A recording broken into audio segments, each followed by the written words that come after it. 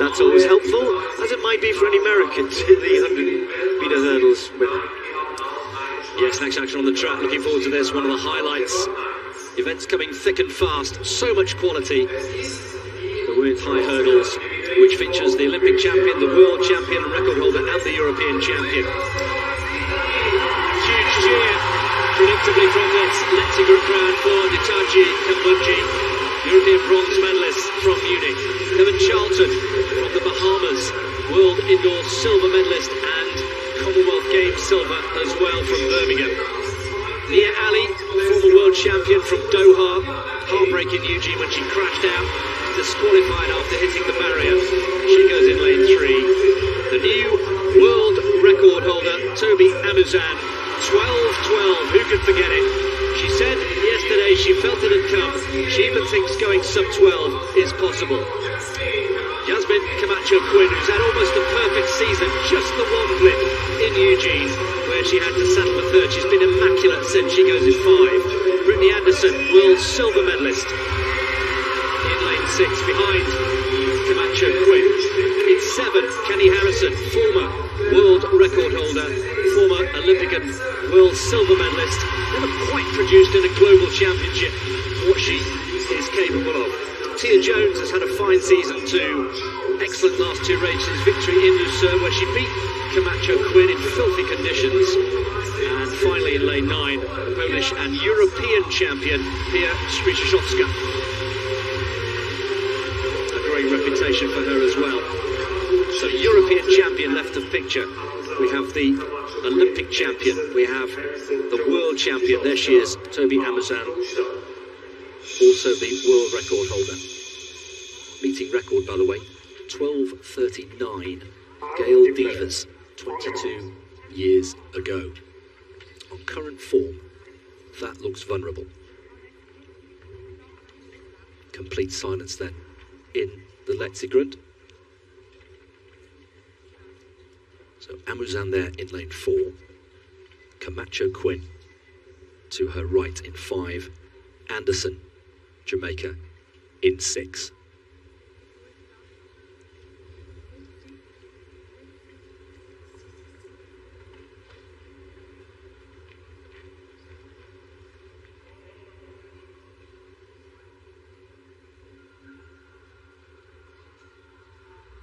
Away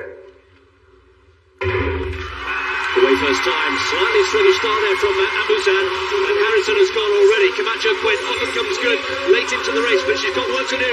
Amusan's away, she's on a bike, they're not going to catch her, are they? Amazon once again, 12.29. Well, the meeting record has gone. It did have a look of vulnerability about it. Not the 12-12 we saw in Eugene, but Amusan backs it up. And what a way to finish a fine, fine season. She got away well, not brilliantly, but she got away well. Tia Jones on her birthday, we should have said happy birthday, Tia Jones, has come through in second place. Camacho Quinn, well, she was the form athlete coming in here. Jones gets second, Anderson in third, and Camacho Quinn, who promised so much on this occasion, having to settle for fourth. But Amusan, head and shoulders.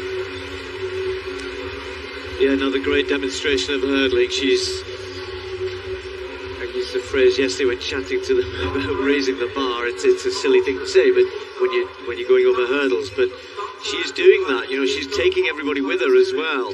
You look at uh, Tia Jones, who's improving all the time as well. Just watch her. She is so fast between the barriers.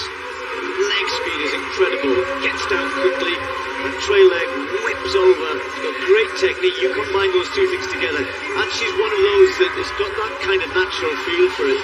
Which, if she needs to, when she needs to, she can make those little adjustments that you have to make as well. Good out of the block. She drives straight into that first hurdle. And then, look, that just gives you a good view, actually, of you know the cadence. It's so quick.